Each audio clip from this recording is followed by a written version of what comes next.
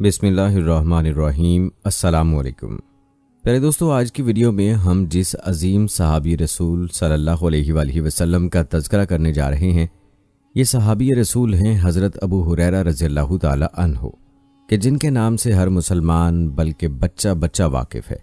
और क्यों ना हो कि हज़रत अबू हुरैरा रज़ी तहो से नबी करीम सल्लल्लाहु अलैहि वसल्लम की मुतद अहादीस मनकूल हैं। याद रहे कि इल्म अहादीस में आप रज़ल्ला तहों का एक ख़ास मकाम है और यही आप रज़ल्ला तहों की पहचान भी है। आज की इस वीडियो में हज़रत अबू हुरैरा रज़ल्ला तहों की ज़िंदगी के हालात वाक़ात से भी आपको आगाह करेंगे और आप रज़ल्ला तहों की ज़िंदगी से चंद अजीब और ईमान अफरोज़ वाक़ात भी आपके गोश गुजार करेंगे। वीडियो ईमान अफरोज़ होने के साथ साथ दिलचस्प भी होने वाली है, लिहाजा वीडियो को आपने स्किप नहीं करना। और वीडियो को आखिर तक लाजमी देखना है। प्यारे दोस्तों, याद रहे कि अबू हुरैरा रज़ल्ला तहो हर वक्त मस्जिद नबी में ही रहते थे। नबी अकरम सल्लल्लाहु अलैहि वसल्लम जो फरमाते, वो जहन नशीन करते रहते। उन्हें इल्म हासिल करने का इस कदर शौक था कि वो किसी ख़ास काम के लिए ही मस्जिद से निकलते थे। वो नबी अकरम सल्लल्लाहु अलैहि वसल्लम के हर काम को गौर से देखते और उन्हें नोट करते रहते थे। यही वजह है आप रज़ी तहों ने सबसे ज़्यादा अहादीस नबी सल्ला वसल्लम बयान की हैं और इन्हें मुहदस रसूल अलैहि वसल्लम का खिताब भी मिला है।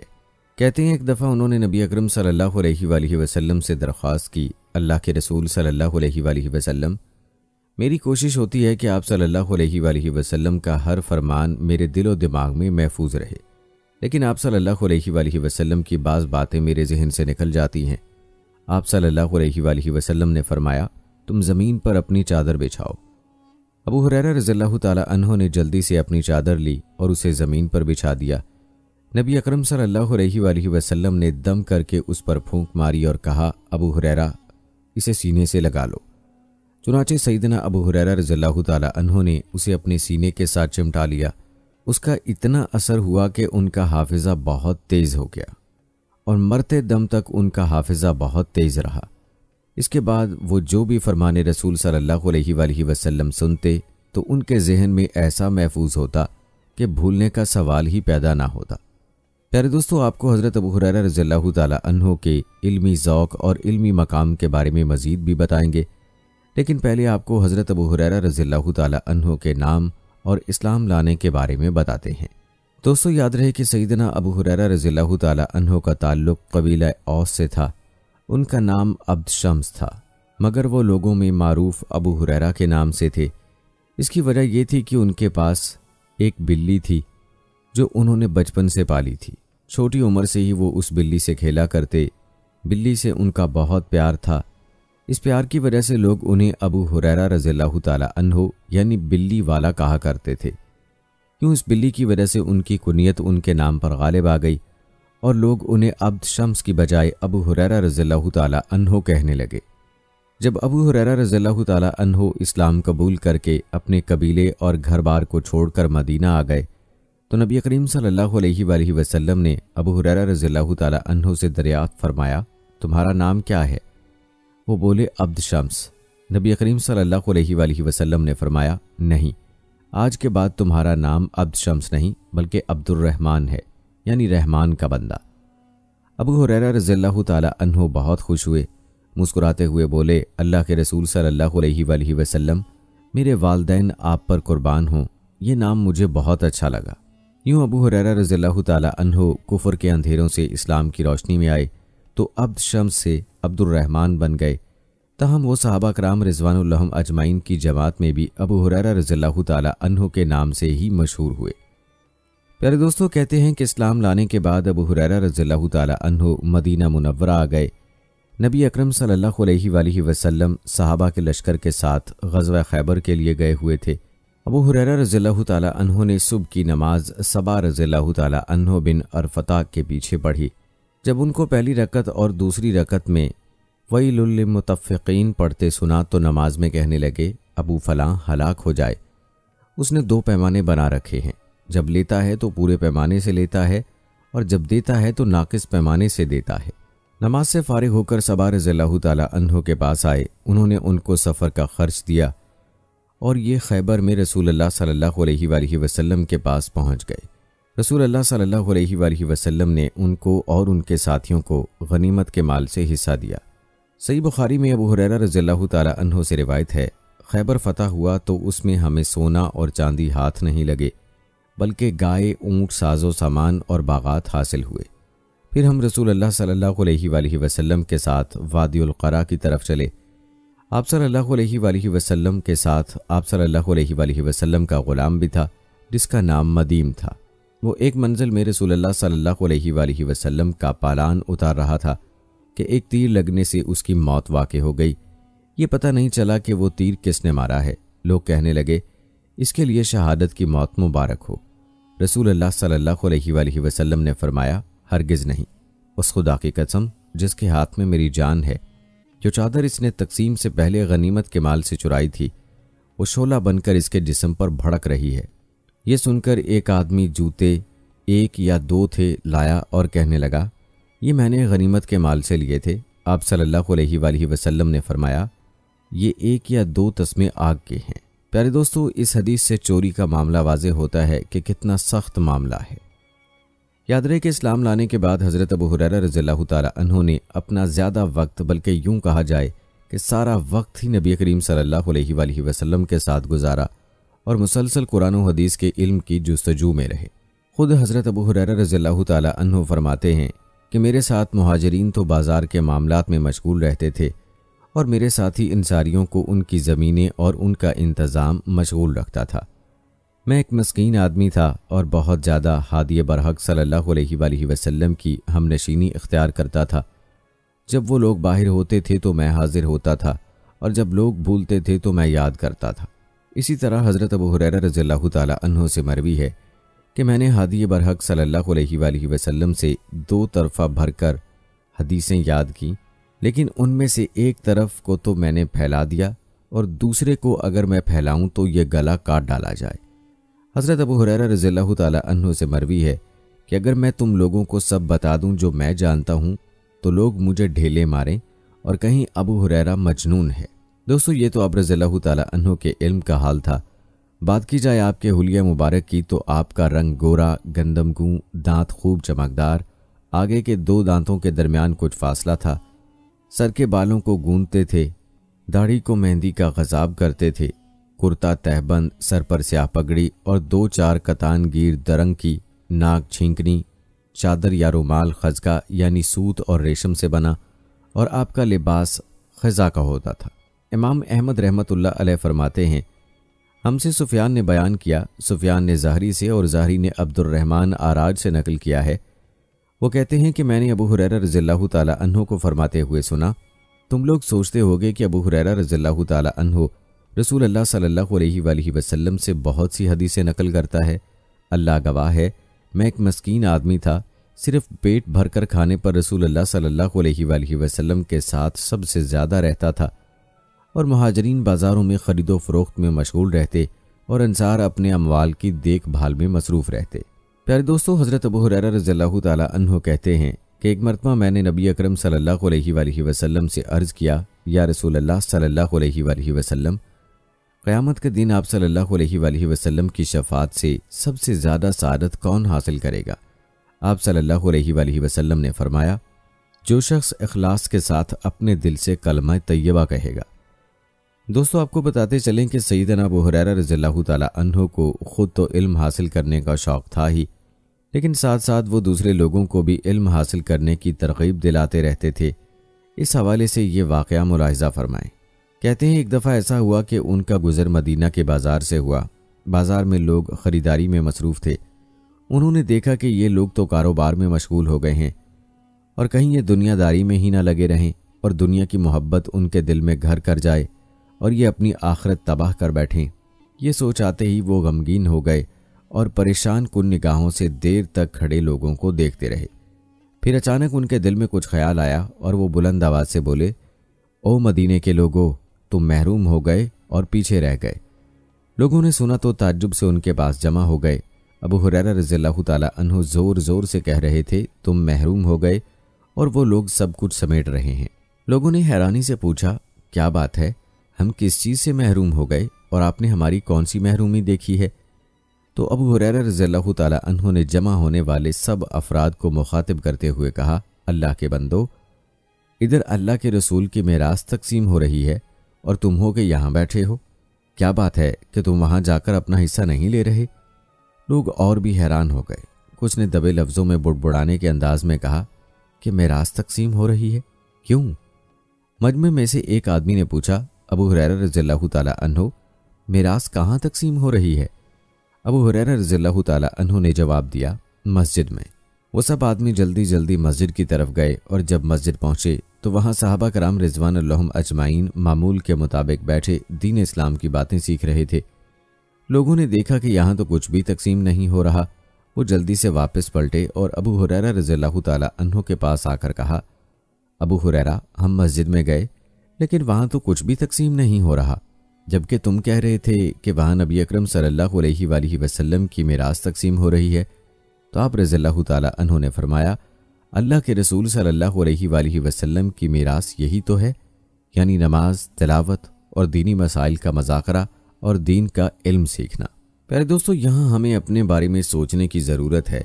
आज हमारा भी हाल यही है कि हम दुनिया की मीरास को तो मीरास समझते हैं लेकिन अल्लाह के प्यारे नबी सल्लल्लाहु अलैहि वसल्लम ने हमारे लिए जो मीरास छोड़ी है, यानी कुरान हदीस और दीन का इल्म, उससे हम लोग भी कोसों दूर हो चुके हैं। अल्लाह रब्बुल से दुआ है कि अल्लाह ताला हमें दुनिया के साथ दीन का शौक़ भी नसीब फरमाए और दुनिया की तालीम के साथ दीन की तालीम भी सीखने और उस पर अमल करने की तोफ़ी अता फरमाए। आमीन। प्यारे दोस्तों, यहाँ पर आपको हज़रत अबू हुरैरा रज़ील्लाहु ताला की ज़िंदगी का एक अजीब वाक़ बताते हैं। ये वाक़ मुलाहिजा फरमाएँ, कहते हैं, रात का एक हिस्सा बीत चुका था और वो अभी मस्जिद में बैठे थे। मस्जिद के सेन में गले का ढेर लगा था और वो उसकी हिफाजत पर मामूर थे। नमाज़ ईशा अदा करने के बाद शहर के तमाम लोग अपने अपने घरों को जा चुके थे, मगर वो अकेले मस्जिद में पहरा दे रहे थे। शहर के लोगों ने फितराने के लिए गला जमा करवाया था, जिसे अगले दिनों में गुरबा और फ़करा में तकसीम किया जाता था। चोरी के डर से उनकी ये ड्यूटी लगी थी कि रात भर उस गले की निगरानी करनी है। मुबादा कोई चोर माल न चुरा ले जाए। वो कुछ देर माल के इर्द गिर्द चहलकदमी करते रहते, फिर थकावट होती तो कुछ देर के बाद एक तरफ़ बैठ जाते। अगरचे रात तारीख थी, लेकिन आसमान पर चाँद पूरी आबोताब से चमक रहा था। चाँद से फूटने वाली रोशनी की किरणों ने मस्जिद के सहन में धीमी धीमी रोशनी पैदा कर रखी थी। उन एक जगह बैठे हुए अभी ज़्यादा देर न गुजरी थी कि चाँद की रोशनी में उन्हें मस्जिद के सहन में एक साया हरकत करता नज़र आया। वो चौकन्ने होकर बैठ गए और गौर से उस साय की तरफ़ देखने लगे। कुछ ही देर में उन पर वाजे हो गया कि यह किसी आदमी का साया है। साया आहिस्ता आहिस्ता बढ़ता हुआ गले के ढेर के करीब आ गया तो उन्होंने गौर से देखा वो कोई आदमी था, मगर उससे कबल उन्होंने कभी उसे शहर में ना देखा था। शहर के सारे लोग उनके जाने पहचाने थे, मगर उस आदमी को वो पहली मर्तबा देख रहे थे। और वो भी चोरी करते।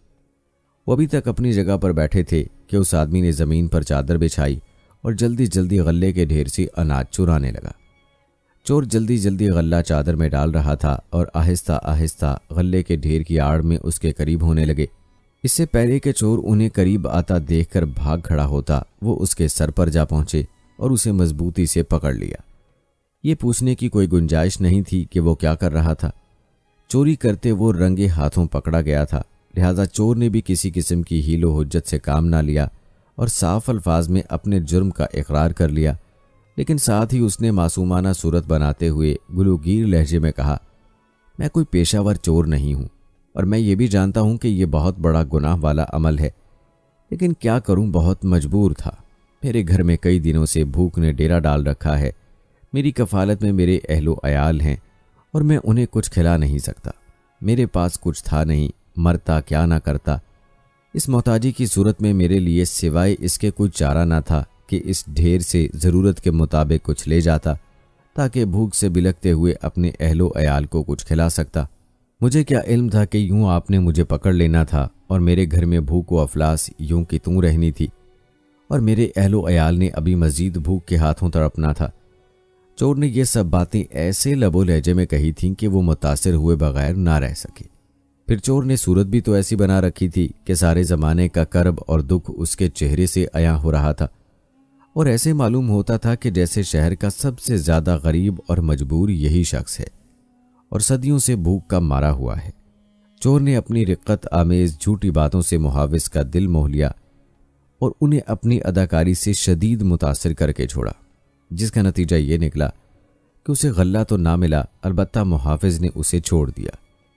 चोर ने इधर देखा ना उधर, जो ही मुहाफिज ने अपनी गिरफ्त छोड़ी और मुँह से जाओ के अल्फाज कहे, चोर यूँ गायब हुआ जैसे गधे के सर से सींग गायब होते हैं। आदमी रात के वक्त मस्जिद के सहन में गले की हिफाजत पर मामूर ये शख्स, सहाबी रसूल, सईदना अबू हुरैरा रज़ी तहो थे।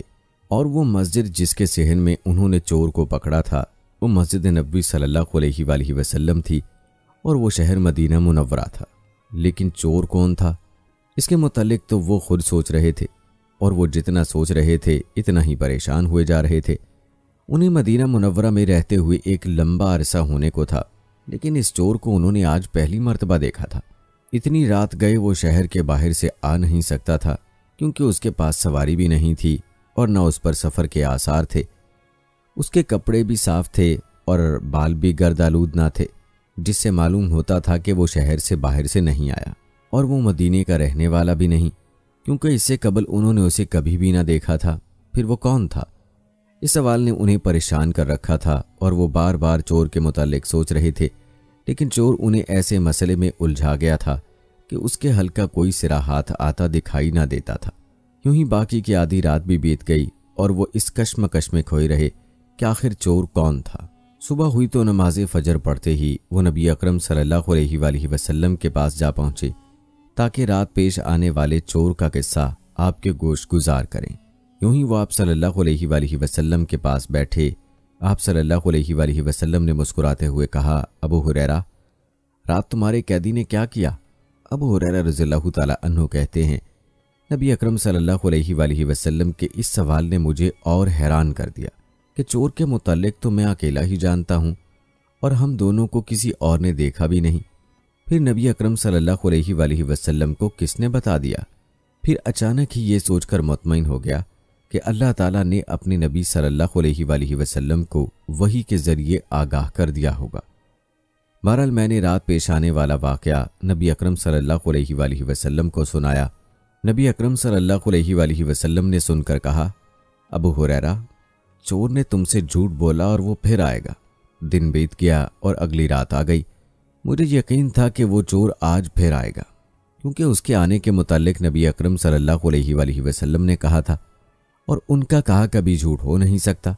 वो सादिक भी हैं और अमीन भी हैं, और उनकी ज़ुबान से वही कुछ निकलता है जो अल्लाह ताला चाहते हैं।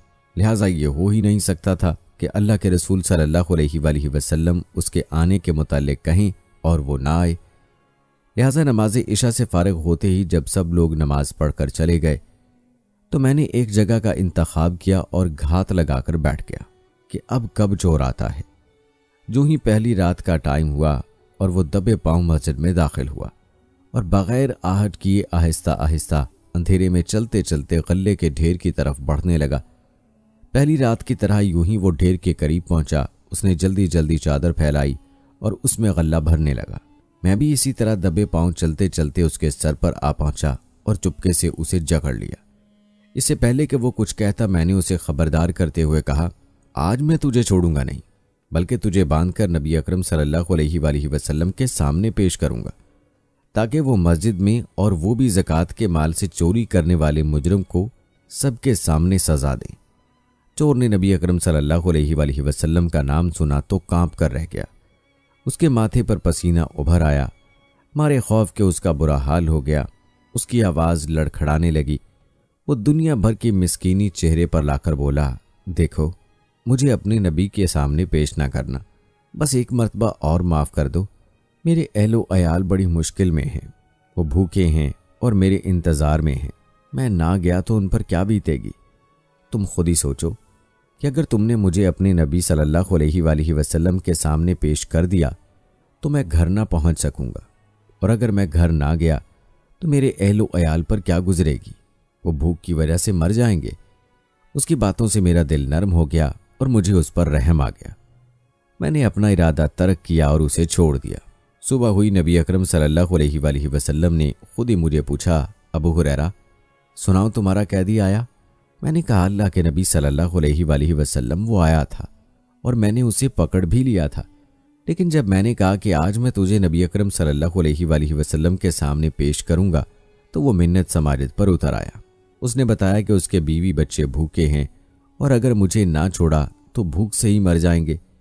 मुझे तरस आ गया और मैंने उसे छोड़ दिया। नबी अकरम सल्लल्लाहु अलैहि वसल्लम मेरी बात सुनकर मुस्कुरा दिए, फिर बोले, इस चोर ने झूठ बोला। और वो फिर आएगा। चुनाचे रात हुई और मैं फिर तीसरी मरतबा चोर की ताक में बैठ गया। आधी रात का वक्त हुआ तो चोर वाकई दोबारा आ गया। आते ही उसने पहले की तरह गल्ला चुराना शुरू कर दिया और मैंने उसे पकड़ लिया। मैंने उसे कहा, अब की बार मैं तुम्हें हरगिज नहीं छोड़ूँगा। ये आखिरी बारी थी तुझे दो मरतबा छोड़ चुका हूँ। और दोनों मरतबा तूने मुझसे वादा किया था कि तू फिर नहीं आएगा। लेकिन तू बाज नहीं आया। अब तो मैं तुझे खुद नबी अकरम सल्लल्लाहु अलैहि वसल्लम के पास लेकर जाऊँगा। चोर पहले की तरह इस बार भी मिन्नत समारित करने लगा और अपने बीवी बच्चों के वास्ते देने लगा। लेकिन मैंने मज़बूत लहजे में ही जवाब दिया कि नहीं, बहुत हो चुकी। अब मैं तुझे नहीं छोड़ूँगा। जब उसने देखा कि बहानों से दाल गलती नज़र नहीं आती तो वो बोला, मैं तुम्हें ऐसे कलमात सिखाऊँगा, जिनकी वजह से अल्लाह तुम्हें हर काम में नफा देगा। और अगर वो कलमा तू रात को अपने बिस्तर पर लेटते वक्त पढ़ लेगा तो अल्लाह तेरे लिए फरिश्ते मुकर कर देंगे, जो सारी रात तुम्हारी हिफाजत करेंगे। यूँ ना कोई चोर आएगा और ना ही कोई शैतान तुम्हारे करीब भटकेगा। मैंने जल्दी से कहा, चल बता, वो क्या कलमात है? वो बोला, मेरी एक शर्त है, अगर तुम उसे पूरा करोगे तो मैं तुम्हें ये कलमात सिखा देता हूँ। मैंने कहा, बता, तेरी शर्त क्या है? चोर ने कहा, तुम मुझे रिहा कर दोगे। मैंने हामी भर ली तो वो बोला तुम जब भी सोने के लिए रात बिस्तर पर पहुंचो, आयतल कुर्सी पढ़ लिया करो। इसके पढ़ने की वजह से तुम शैतान से महफूज रहोगे। वादे के मुताबिक मैंने चोर को छोड़ दिया। सुबह होते ही दोबारा मुझसे नबी अकरम सल्लल्लाहु अलैहि वसल्लम ने पूछा कि बताओ चोर आया?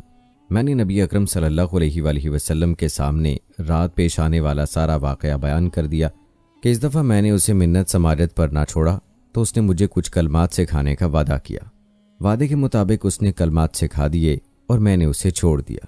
नबी अकरम सल्लल्लाहु ने कहा अच्छा तो फिर बताओ कि चोर ने तुम्हें कौन से कलमात सिखाए मैंने जवाब दिया कि चोर ने कहा था, जब तुम अपने बिस्तर पर आओ तो आयतिल कुर्सी पढ़ लिया करो, जिसकी वजह से अल्लाह ताला तुम पर फरिश्ते नेगेबान और मुहाफ़ मुतन कर देंगे, और सुबह तक कोई शैतान तुम्हारे पास नहीं आएगा। नबी अकरम सल्लल्लाहु अलैहि वसल्लम सुनते ही हंस दिए, मैं परेशान हो गया चोर फिर मुझे धोखा दे गया है। अभी मैं सोच ही रहा था कि नबी अकरम सल्लल्लाहु अलैहि वसल्लम ने फरमाया, चोर था तो झूठा, बात सच्ची कर गया। लेकिन क्या तुम्हें मालूम है कि तीन रात तक जिसे तुम पकड़ते रहे और फिर उसे छोड़ते रहे हो, वो कौन है? मैंने कहा कि नहीं, बल्कि मैं तो खुद परेशान हूँ कि मैंने उसे इस शहर में पहले कभी नहीं देखा। तो फिर वो कौन है? मैंने जवाबन कहा तो आप सल्लल्लाहु अलैहि वसल्लम ने फरमाया, वो शैतान था। सईदना अबू हुरैरा रजील्लाहु ताला ने सुना तो हैरानों परेशान रह गए। दोस्तों, कितना अजीब वाक़ है कि जिसमें शैतान ने एक सहाबी रसूल सल्लल्लाहु अलैहि वसल्लम को आयतल कुर्सी की फजीलत बतलाई और नबी करीम सल्लल्लाहु अलैहि वसल्लम ने इस फजीलत की तस्दीक फरमाई। प्यारे दोस्तों, आपको हज़रत अबू हुरैरा रज़ील्लाहु ताला अन्हो की ज़िंदगी से चंद मज़ीद वाक़यात भी बताएँगे। इससे पहले हज़रत अबू हुरैरा रज़ील्लाहु ताला अन्हो की चंद रिवायात आपके गोश गुजार करते हैं। जिनमें आप रज़ील्लाहु अन्हो के मामूलात और तकवा का ज़िक्र मौजूद है। दोस्तों, एक रिवायत में हज़रत अबू रज़ील्लाहु ताला अन्हो ने फरमाया, क्या मैं तुम्हें ठंडी यानी आसान गनीमत ना बताऊँ? लोगों ने पूछा, वो क्या? फरमाया, सर्दियों में रोज़ा रखना। एक दूसरी रिवायत में अबू उस्मान अल अहदी कहते हैं कि मैं हज़रत अबू हुरैरा रज़ी अल्लाह के यहाँ सात रातें मेहमान ठहरा। मैंने उनसे पूछा कि आप किस तरह रोज़े रखते हैं? फरमाया, मैं हर महीने के शुरू में तीन रोज़े रख लेता हूँ। क्योंकि अगर मुझे कोई हादसा पेश आ जाए तो कम अज़ कम वो महीना तो रोज़ों के सवाब में लिखा जाए। इसी तरह सईद रज़ी अल्लाह बिन मुसैब बयान करते हैं कि हज़रत अबू हुरैरा रज़ील्लाहु ताला सुबह बाज़ार में चले जाते। जब वापस आते तो घर वालों से पूछते कि खाने को कुछ है? अगर वो कहते कि कुछ नहीं तो आप फरमाते, आज मेरा रोज़ा है। अबू यजीद अलमदीनी कहते हैं हज़रत अबू हुरैरा ताला अन्हो मदीना मुनवरा में मिंबर रसूल सल्लल्लाहु अलैहि वसल्लम पर नब्बी सीढ़ी से नीचे वाली सीढ़ी पर खड़े हुए और फरमाया, करम है बारी ताला का कि उसने अबू हुरैरा को इस्लाम की हिदायत दी। शुक्र है अल्लाह ताला का जिसने अबू हुरैरा को कुरान सिखाया। शुक्र है उस ज़ात का जिसने हज़रत मोहम्मद सल्लल्लाहु अलैहि वसल्लम के ज़रिए अबू हुरैरा पर एहसान फरमाया। सब तारीफ़ें अल्लाह ताला के लिए हैं। जिसने मुझे खमीरी रोटी खिलाई, कीमती लिबास पहनाया और बिन्नत गजवान से शादी कराई, जिसका मैं मजदूर रह चुका था। फिर फरमाया, अरब के लिए हलाकत व बर्बादी होगी। इस शरो बुराई की वजह से जो करीब आन पहुँची है। लड़कों की अमारत व बादशाही की वजह से उनकी हलाकत होगी।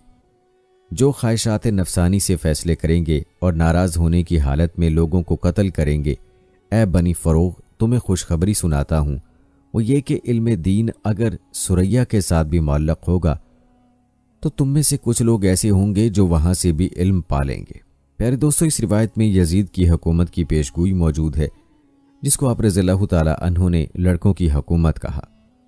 प्यारे दोस्तों, अब वो तवक्ल बयान करते हैं कि हज़रत अबू हुरैरा रज़ी अल्लाह की एक लौंडी हशिया थी, जिसने अपनी बुरी कारकर्दगी की वजह से उन्हें तकलीफ़ में डाल रखा था। एक दिन आपने उस पर कोड़ा बुलंद करते हुए फरमाया, अगर कसास ना होता तो मैं तुम्हें मार मार कर बेहोश कर देता। मगर मैं तुम्हें उस जात के हाथ फरोख्त करता हूँ, जो मुझे तेरी पूरी पूरी कीमत देगी। उसके बाद फरमाया, जा, तू अल्लाह के लिए आज़ाद है। इसी तरह यानी असवद नकल करते हैं कि मदीना मुनवरा में एक शख्स ने नया मकान तामीर कराया। मकान तैयार हो चुका तो इत्तफाक से हज़रत अबू हुरैरा रज़ी तहों का वहाँ से गुजर हुआ। मालिक मकान दरवाजे पर खड़ा था।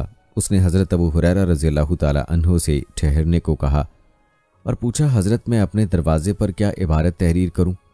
हज़रत अबू हुरैरा रज़ी तहों ने फरमाया, दरवाजे पर ये अबारत लिखो, मकान बनाओ बर्बाद होने के लिए। औलाद पैदा करो कि उनकी मौत पर आँसू बहाओ और दौलत जमा करो कि तुम्हारे बाद तुम्हारे वारिसों को मिले। पास खड़े हुए एक आराबी ने कहा, ए शेख, तूने कैसी बुरी बात कही? मालिक मकान ने उसे झिड़कते हुए कहा, ऐसा मत कहो। ये हजूर नबी अकरम सल्लल्लाहु अलैहि वसल्लम के साथी हज़रत अबू हुरैरा रज़ी अल्लाह हैं। दोस्तों, अबू हुरैरा रज़ी अल्लाह का मशहूर वाक़ है कि एक मरतबा आप सईदना जैद रज़ी अल्लाह बिन साबित के साथ एक जगह तशरीफ़ फरमा थे। उनके अलावा एक तीसरे सहाबी भी थे। उन तीनों ने कहा, चलें, हम अल्लाह से कुछ मांगे जो हमें पसंद है। तीनों ने वहीं बैठे बैठे हाथ उठा लिए। और अल्लाह ताला से दुआएँ करना शुरू कर दी। इतने में उस तरफ़ नबी अकरम सल्लल्लाहु अलैहि वसल्लम आ निकले। आपने अचानक नबी अकरम सल्लल्लाहु अलैहि वसल्लम को अपने पास देखा तो घबरा गए और सहम कर खामोश हो गए। नबी अकरम सल्लल्लाहु अलैहि वसल्लम उनके करीब बैठ गए और एक नज़र उनको देखा और फिर प्यार भरे लहजे में कहा, तुम लोग अपना काम जारी रखो। चुनाचे तीनों साहबा रिजवान अजमाइन ने दोबारा अपने हाथ बुलंद किए और दुआ करना शुरू कर दी। सैद रजील्ला तु ने दुआ मांगी तो नबी करीम सल्लल्लाहु अलैहि वसल्लम समेत सबने आमीन कही। फिर दूसरे साहबी रजील्ला तु ने दुआ की और सबने आमीन कही। अब सईदना अबू हुरैरा रजील्ला तु की बारी थी। उन्होंने अल्लाह ताला से दुआ मांगते हुए कहा, या अल्लाह, मैं तुझसे वही माँगता हूँ जो मेरे इन दोनों साथियों ने मांगा है। या अल्लाह, इसके साथ साथ मुझे वो इल्म भी अता कर दे जो मुझे भूले ना। नबी अकरम वसल्लम ने सुना तो आमीन कहा। सईदना जैद रज़ील्लाहु ताला अनहो जल्दी से बोल पड़े कि हम भी अल्लाह ताला से वो इलम मांगेंगे जो कभी भूले ना। नबी अकरम सल्लल्लाहु अलैहि वसल्लम उनकी बात पर मुस्कुरा दिए और खुशकुन लहजे में बोले, औस का नौजवान तुमसे पहल कर गया। प्यारे दोस्तों, इसी दुआ और कवि हाफजे की बिना पर उन्होंने तकरीबन 1200 के करीब अहदीस रसूल सल्लल्लाहु अलैहि वसल्लम बयान की है। दोस्तों, कहा जाता है कि नबी करीम सल्लल्लाहु अलैहि वसल्लम से अहदीस की समात के खातिर उन्होंने आप सल्लल्लाहु अलैहि वसल्लम की ज़िंदगी में शादी ना की, ताकि शादी के बाद की मसरूफियत में सर्फ होने का वक्त बच जाए और वो वक्त इल्म के हसूल के लिए वक्फ करते रहें। इसी तरह वो भूख, प्यास से भी बेनियाज होकर इल्म हासिल करने में दिलचस्पी लेते थे। एक मरतबा उन्हें बहुत शदीद किस्म की भूख लगी, इतनी शदीद कि उनके पेट में भूख की वजह से दर्द होने लगा। उन्हें किसी काम की कोई खबर न रही। लेकिन फिर भी नबी अकरम सल्लल्लाहु अलैहि वसल्लम के फरमान की तलाश में इस कदर मगन रहे कि कुछ भी खाया ना पिया। और जब भूख की शिद्दत हुई तो न सिर्फ़ पेट में दर्द होने लगा, बल्कि उसकी बिना पर उनका बैठना भी मुश्किल हो गया। वो मस्जिद में ही लेट गए ताकि कुछ हफाका हो जाए और बाहर जाकर कुछ खाने पीने की तलाश करने की बजाय आप सल्लल्लाहु अलैहि वसल्लम के अकवाल अफ़ाल से मुस्तफ़ीद होते रहें। लेकिन भूख का क्या किया जाए? वक्त गुजरने के साथ साथ उसमें और भी इजाफा होता चला गया। वो कुछ पेट में डालते तो भूख मिटती। उन्होंने वहीं लेटे लेटे पेट पर पत्थर बाँध लिया। लेकिन कुछ देर बाद ही दर्द ने और शिद्दत उठाई। अब सिवाय उसके कोई चारा ना था कि कुछ खाया जाए, और खाने के लिए उनके पास कुछ ना था। और वो ये भी गवारा ना करते थे कि किसी से कुछ मांगे। उन्होंने अपनी खुददारी की रिवायत कायम रखी और किसी से खाने के लिए कोई चीज़ मांगने की बजाय एक तरकीब निकाली।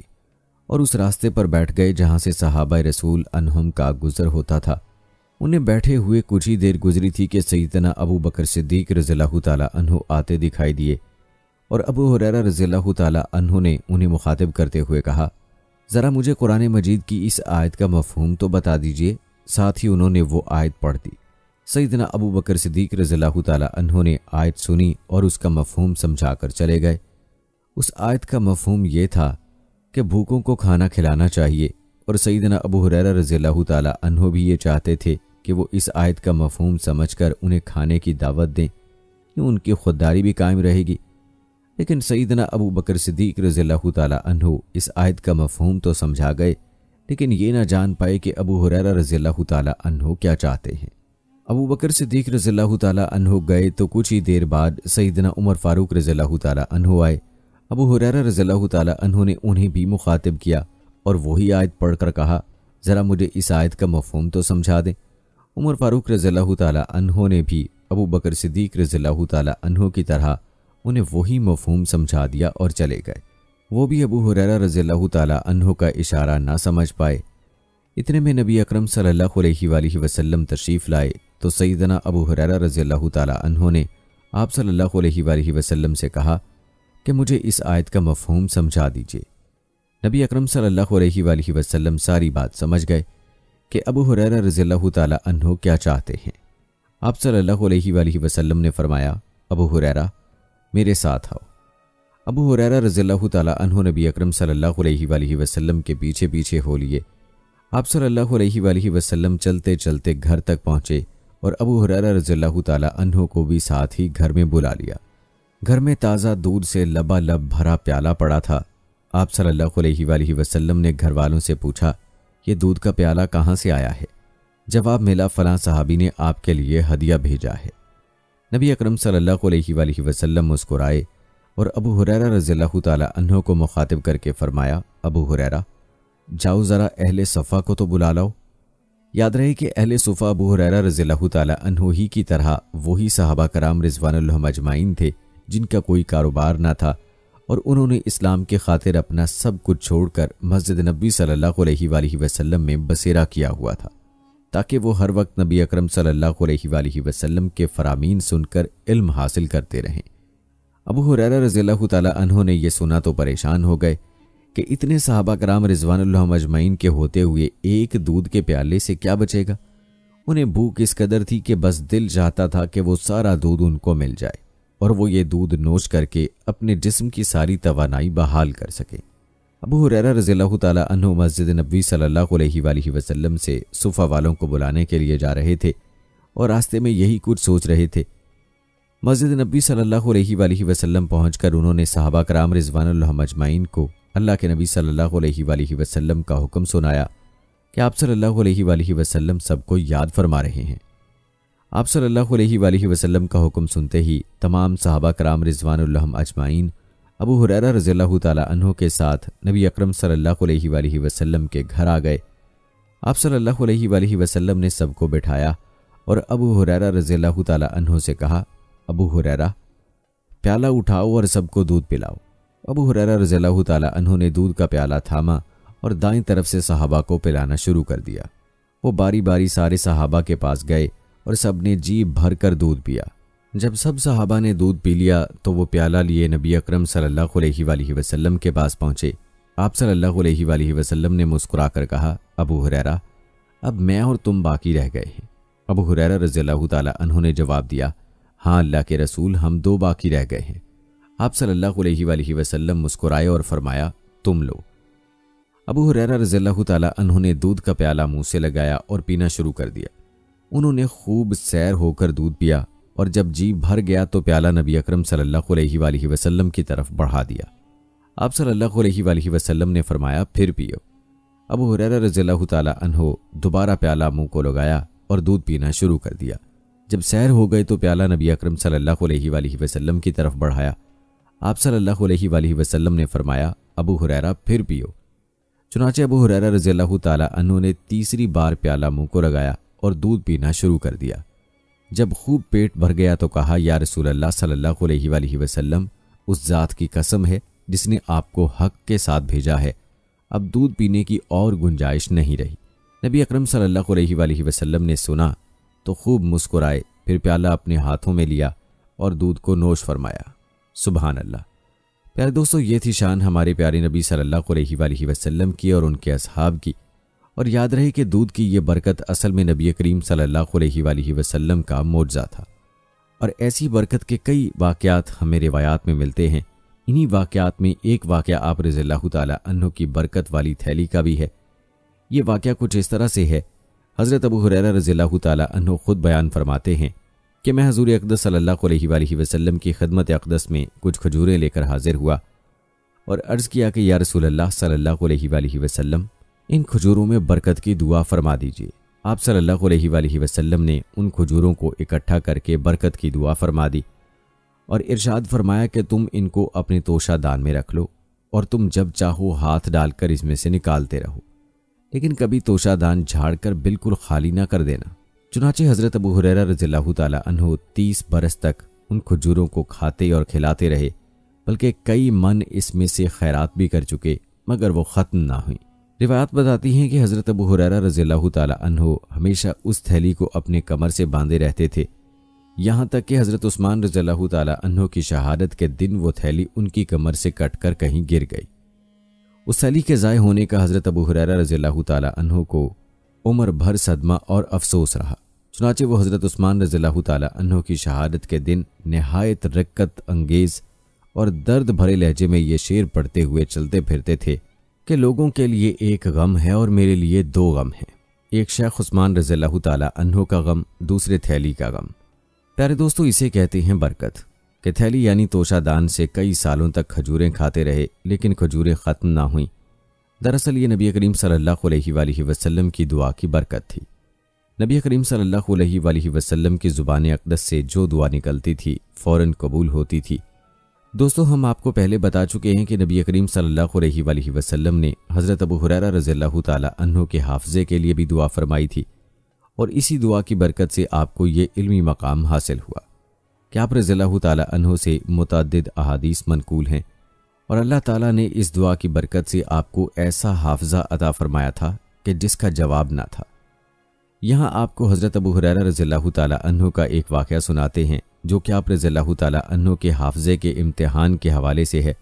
याद रहे कि हज़रत अबू हुरैरा रज़ी तहों को अहादीस मुबारक को याद करने का खसूसी ज़ौक था, जहाँ बैठते हदीसें बयान करते थे। जब उन्होंने बहुत ज़्यादा हदीसें बयान करना शुरू कर दी तो आखिर उम्र में कुछ लोगों को यह खदशा पैदा हुआ कि वो बूढ़े हो गए हैं। पता नहीं उनका हाफजा ठीक काम करता है या नहीं। जानबूझकर गलत बयान करना और बात है लेकिन अगर किसी का हाफिजा कमज़ोर हो तो मुमकिन है कि बात इधर की उधर बयान कर दे। लोगों को यह खदशा हुआ कि बूढ़े हैं, बुज़ुर्ग हैं।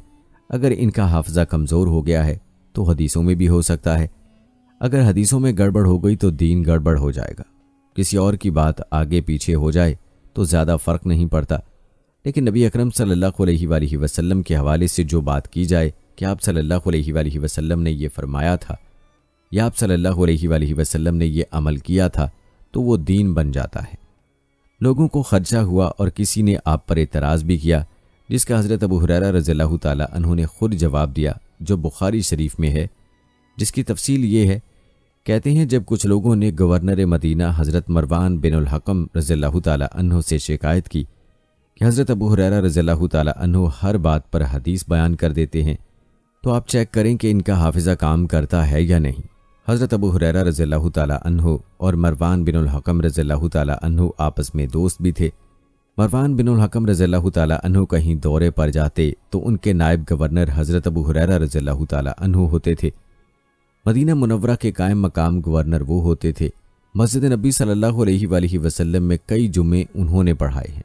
मरवान बिन हकम रजील्ला तला ने कहा कि बात तो ठीक है, लेकिन हज़रत अबू हुरैरा रजील्ला तला का इम्तिहान कैसे लें? कौन है जो हज़रत अबू हुरैरा रजील्ला तला को चेक करे? हमारी उनके मुकाबले में क्या हैसियत है? लेकिन चेक करना भी ज़रूरी है। बहरल मैं कोई रास्ता निकालता हूँ। इस मकसद के लिए एक दिन मरवान बिन हकम रज़ील्ला ने मजलिस जमाई और हज़रत अबू हुरैरा रज़ील्ला तला को पैगाम भिजवाया कि आपसे कुछ हदीसें सुनने को जी चाहता है। तशरीफ़ लाएँ। चुनाचे वो तशरीफ़ ले आए। की मजलिस लगी हुई थी। हज़रत अबू हुरैरा रज़ील्ला तला से हदीसें बयान करने को कहा गया, हज़रत अबू हुरैरा रज़ील्ला तला को और क्या चाहिए था? हदीसें बयान करना शुरू कर दी। उधर मरवान बिन हकम रज़ील्ला तला ने पर्दे के पीछे एक आदमी को बिठा दिया कि जो आप रज़ील्ला तला बयान करें, उसको नोट करना है। हज़रत अबू हुरैरा रज़ील्ला तला ने सौ हदीसें बयान फरमाईं। वैसे तो आपको हज़ारों हदीसें याद थीं, लेकिन उस मजलिस में एक सौ हदीसें सुनाई। मजलिस के अख्ताम पर मरवान बिन हकम रज़ील्ला तला ने हज़रत अबू हुरैरा रज़ील्ला तला का शुक्रिया अदा किया और रुखसत कर दिया। काफ़ी अरसे के बाद मरवान बिन हकम रज़ील्ला तला ने दोबारा पैगाम भिजवाया कि हज़रत, इस मौके पर बहुत लुत्फ आया था। आप दोबारा तशरीफ़ लाएँ। हज़रत अबू हुरैरा रज़ील्ला तला तशरीफ़ ले आए तो उनसे वही सौ हदीसें दोबारा सुनने की फरमाइश की। मरवान बिन हकम ने पर्दे के पीछे आदमी बिठाया कि आप जो बयान करें उसको चेक करना। अगर कमी बेशी हो तो उसे नोट करना। हज़रत अबू हुरैरा रज़ील्ला तला ने वही सौ हदीसें बयान फरमा दी। मजलिस के अख्ताम पर मरवान बिन हकम रज़ील्ला ने आप रज़ील्ला तु का शुक्रिया अदा किया और आप चले गए। आपके जाने के बाद मरवान ने उस आदमी को बुलाकर पूछा कि क्या कुछ कमी बेशी थी या नहीं? उसने बताया कि हदीसें भी आप रज़ील्ला ने वही सुनाई हैं और हदीसों की तरतीब भी वही थी। उन्होंने मन वन इसी तरतीब से हदीसें सुनाई हैं। एक हदीस भी आगे पीछे नहीं सुनाई। जब लोगों को इस बात का इल्म हुआ तो इतमान हो गया कि हज़रत अबू हुरैरा रज़ी तु का हाफजा मज़बूत है। लिहाजा उनका हक है कि हदीसें बयान करते रहें। दोस्तों, अगर गौर किया जाए तो इस वाक़े से हमें तीन सबक मिलते हैं।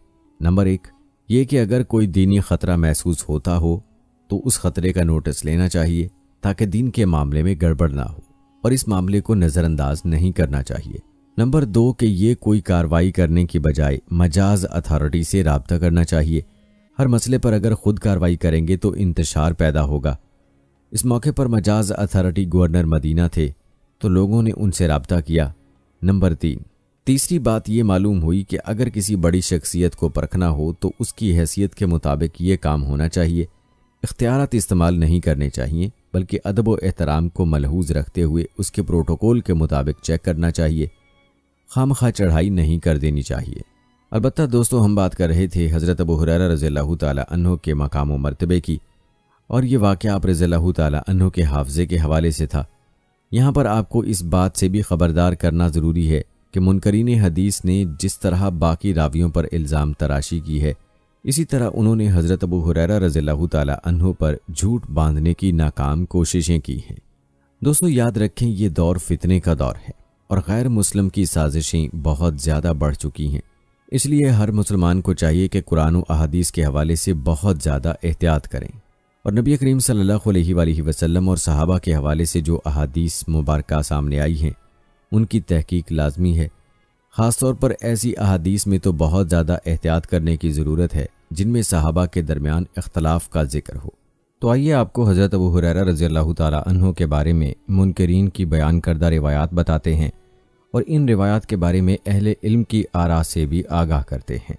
ज़रा इस रिवायत को मुलायजा फरमाएँ। एक साहब बताते हैं कि मुझे ये वाक़ सुनने का इतफाक़ हुआ। एक दिन मस्जिद नबवी के सहन में हज़रत अबू हुरारा रज़ी तहो तशरीफ़ फरमा थे और कुछ हाजरीन को कोई हदीस बयान कर रहे थे। जब हज़रत उमर रज़ी तहो को इस बात का इल्म हुआ तो कहने लगे, अबू हुरैरा, जो बात आप बयान कर रहे हैं, जब यह वाक़ रूनुमा हुआ उस वक्त मैं रसूल अल्लाह सल्लल्लाहु अलैहि वसल्लम के साथ था, और ये बात हरगिज़ ऐसे ना थी। आपको रसूल अल्लाह सल्लल्लाहु अलैहि वसल्लम से गलत बात मंसूब करते हुए खुदा का खौफ महसूस ना हुआ, और कहने लगे, अगर आपकी जगह कोई और होता तो मैं उसकी गर्दन मार देता, अलायाज बिल्ला। साथ ही गुफ्तु के दौरान उन साहब ने इस बात का भी इजाफा किया कि एक दफ़ा हज़रत अबू हुरैरा रज़ी अल्लाह तहों से एक शख्स ने दरियाफ़्त किया अब आप बहुत सी अहादीस रिवायत करते हैं, जबकि हज़रत उमर रज़ी तहों की ज़िंदगी में ऐसा नहीं था। तो हज़रत अबू हुररा रज़ी तहों फरमाने लगे, उस वक्त मुझे अपनी गर्दन मारी जाने का खौफ था। नाउज़बिल्ला दोस्तों, पहले तो आम फहम इस बात को तस्लीम नहीं करता। अलबत् हम आपको अहल इल्म की आरा के मुताबिक बताते हैं कि क्या ये वाक़ात सही हैं। तो दोस्तों, अहल इल्म फरमाते हैं कि पहला वाक़ बेसनद होने की वजह से मौजू और बातिल है। किसी किताब में यह वाक़ सही सनद के साथ नहीं मिला, बल्कि इस बेअसल किस्से के बरक्स सईदना उमर रज़ी तहो सईदना अबू हुररा रज़ी तहों पर मुकम्मल अतमाद करते थे और इसकी दलील के तौर पर सही अहादीस में कई रिवायात मौजूद हैं, जिसमें से तीन हवाले यहाँ बयान किए जाते हैं। नंबर एक, रिवायात में आता है कि सईदना उमर रज़ी तहो के पास एक औरत लाई गई, जो खाल पर सुई से गूद कर लिखती थी। तो उमर रज़ी तहो खड़े हो गए और साहबा कराम से फरमाया, मैं तुम्हें अल्लाह का वास्ता देता हूँ। क्या तुमसे किसी ने नबी सल्लल्लाहु अलैहि वसल्लम से सुई से गूदने के बारे में कुछ सुना है? सईदना अबू हरारा रज़ी तु खड़े हो गए और कहा, ए अमीरमिन मैंने सुना है। सईदना उमर रज़ी तु ने पूछा, क्या सुना है? सईदना अबू हरारा रज़ी तु ने फरमाया, मैंने नबी पाक सल्लल्लाहु अलैहि वसल्लम को ये फरमाते हुए सुना गूदने का काम ना करो और ना किसी से गुदवाओ। प्यारे दोस्तों, इस एतराज़ में सईदना उमर रज़ी तहो का सईदना बुहरारा रज़ी तहो से हदीस के बारे में पूछना और उस पर एतराज़ ना करना, इस बात की वाज दलील है कि वो सईदना बुहरारा रज़ी तहो को सच्चा और काबिल एतमाद समझते थे। नंबर दो, रिवायात में आता है कि एक दफ़ा सैदना हसान बिन साबित रज़ी तहो मस्जिद में अशार पढ़ रहे थे कि वहाँ से सईदना उमर रज़ी तहो गुजरे तो उन्होंने सईदना हसान रज़ल्ला तहों को गोशा चशम से, यानी गुस्से के साथ देखा। सईदना हसान रज़ल्ला तहों ने फरमाया, मैं तो इस वक्त भी मस्जिद में अशार पढ़ता था, जब उसमें आपसे बेहतर शख्स सईदना रसूल सल्लल्लाहु अलैहि वसल्लम मौजूद होते थे। फिर उन्होंने सईदना अबू हुरारा रज़ी अल्लाह की तरफ़ देखकर कहा, मैं आपको अल्लाह की कसम देकर पूछता हूँ कि क्या आपने रसूल सल्लल्लाहु अलैहि वसल्लम को ये फरमाते हुए सुना है कि मेरी तरफ़ से जवाब दो अल्लाह, इस यानी हसान की रूहुल कुदस के ज़रिए से मदद फरमा। सईदना अबू हुररा रज़ी तहों ने फरमाया, जी हाँ। नंबर तीन, सईदना इबन उमर रज़ी तहों ने सईदना अबू हुररा रज़ी तहों से फरमाया अय अबू हुररा, आप हम में से रसूलुल्लाह सल्लल्लाहु अलैहि वसल्लम के पास ज़्यादा रहते थे और आप सल्लल्लाहु अलैहि वसल्लम के हदीस को सबसे ज़्यादा याद करने वाले थे।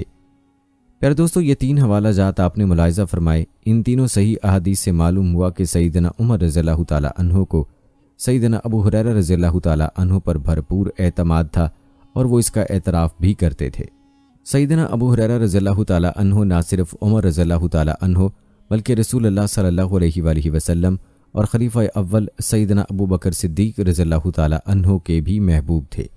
और तमाम साहबा कराम रिजवान अजमाइन में सईदना अबू हुरैरा रज़ी तहों को इम्तियाजी हैसियत हासिल थी।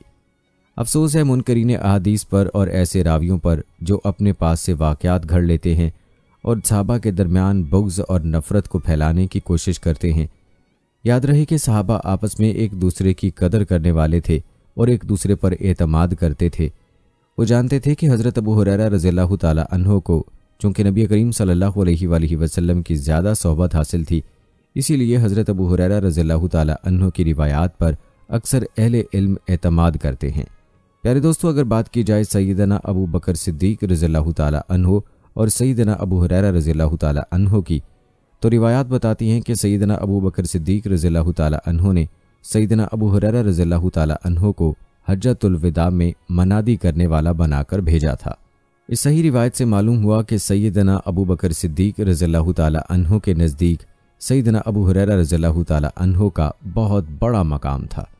इसी तरह बात की जाए सैदा आयशा सिद्दीक़ा रज़ी तहा और सईदना अबू हुरैरा रज़ी तहों की तो एक दफ़ा सईदना अबू हुरैरा रज़ी तहों ने एक हदीस बयान की तो आयशा सिद्दीक़ा रज़ी तहा से इसके बारे में पूछा गया बस उन्होंने फरमाया, अबू हुरैरा रज़ी तहों ने सच कहा है।